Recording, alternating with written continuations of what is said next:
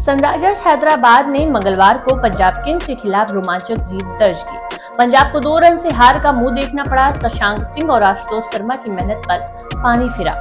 मंगलवार को आईपीएल 2024 के तेईसवें मैच में गजब का रोमांच देखने को मिला। सनराइजर्स हैदराबाद एसआरएच ने साँसें थाम लेने वाले मुकाबले में पंजाब किंग्स यानी कि पीवीके को दो रन से मात दे दी।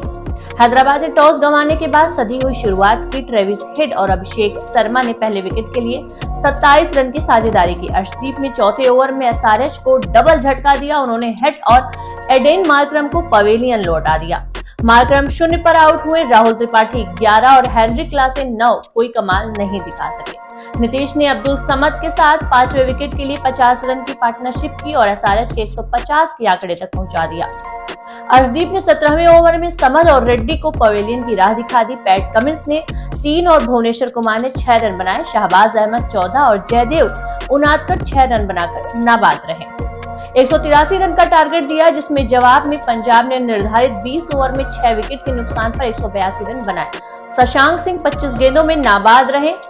छियालीस, छह चौके, एक सिक्स और आशुतोष शर्मा पंद्रह गेंदों में नाबाद, तैतीस, तीन चौके, दो सिक्स की मेहनत बेकार चली गई।